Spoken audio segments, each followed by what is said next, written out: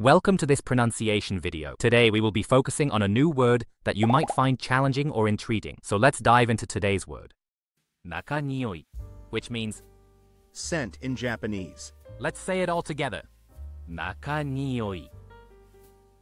Nakanioi. Nakanioi. One more time. Nakanioi.